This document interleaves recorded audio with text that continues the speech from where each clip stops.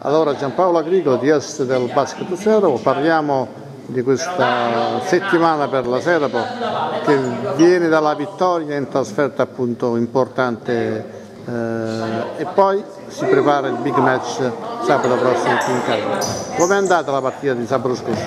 La partita è stata un po' più complicata del previsto, visto che per, per via del brutto tempo siamo arrivati 10 minuti prima della partita quindi i ragazzi poco concentrati non hanno approcciato bene la gara, poi si sono messe le espulsioni eh, di Luca Valente e Porfido praticamente a complicare le cose, però sono stati bravi ragazzi con un ottimo eh, finale di terzo quarto e altrettanto quarto quarto a portarsi a casa una vittoria e due punti molto importanti. Un cammino importante per queste prime giornate per il Serrano, no? Sì, eh, queste, questa vittoria ci, ci, ci permette di, di, vedere la classifica in maniera positiva.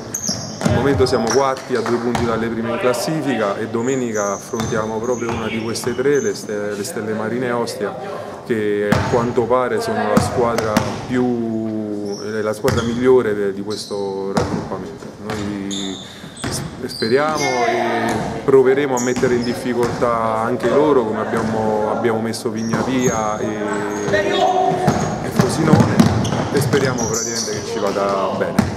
Situazione della, della squadra, il roster come i ragazzi stanno, stanno tutti bene, eh, il morale è alto, sono carichi, eh, l'affiatamento sta, sta, sta salendo, quindi tutto sommato, tutto sommato positivo. Eh, speriamo che domenica possano offrire una, una, prestazione sopra le righe perché solo una prestazione sopra le righe ci può permettere di portare a casa i due punti. Appuntamento quindi è per domenica, domenica ore 18, ore 18 al Palamarina. Grazie, in bocca al lupo.